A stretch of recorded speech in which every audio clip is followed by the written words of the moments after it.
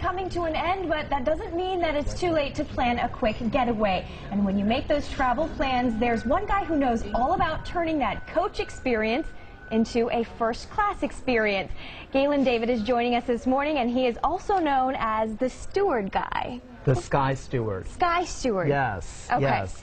So tell us what we have here today. What are you talking to us about today? Well, we've got a few things in the duty free cart that I wanted to share with you to really just make your trip better. And uh, the first thing I want to pull out is we've got this toiletry bag, and it's a mica bag.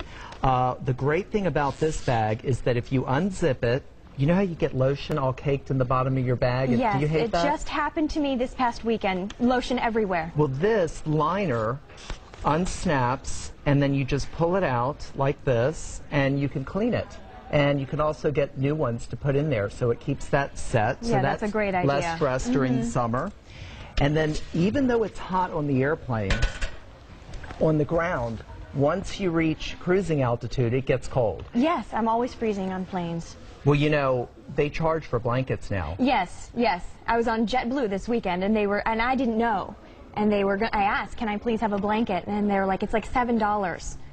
Right. Like, you've got to be kidding me. Yeah, and they're even talking, uh, charging you to talk to the flight attendant almost. On, s- Are they going to do that on speed? No, I don't think they're doing yeah. that yet. I hope not. Well, this is great. This was designed by a flight attendant, and it's actually a kit that has the pillow, uh, eye shades, and the blanket inside, and it comes in all different patterns, and then you just pack that and bring it along, and you don't have to worry.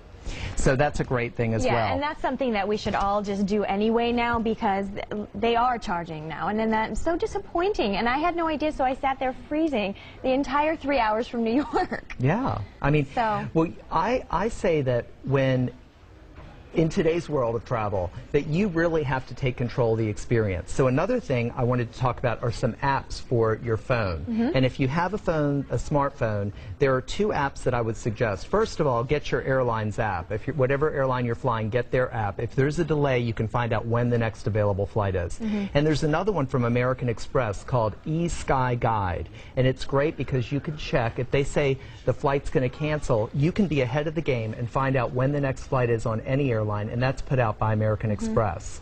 And while we're talking about iPhones, I wanted to show you something really cool. Have you ever noticed on the airplane when people are watching movies, they're propping up their phone uh, on a styrofoam cup or something like that to Yeah. watch the movie? Well, this is a great way to do it. This is called iDocs. And all you do is you snap in your iPhone, And you and it becomes not only a stand to watch your movie on, but then you can also use it as your alarm clock stand Yeah. while you're That's you know, awesome. I've never seen that. Yeah, so it's great. And another thing I'd remind everybody about is when you're using this much power, make sure that you have an adapter.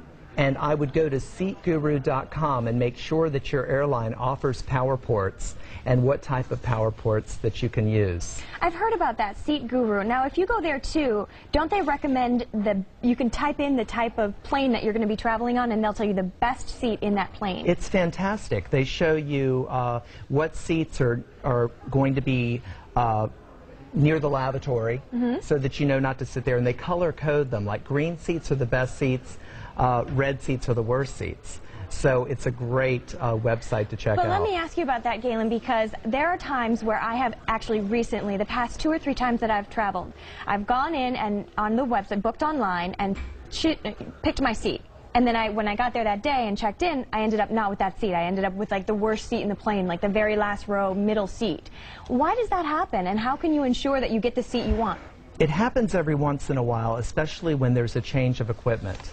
And when they do, like it could be the same plane, but a shorter version of it.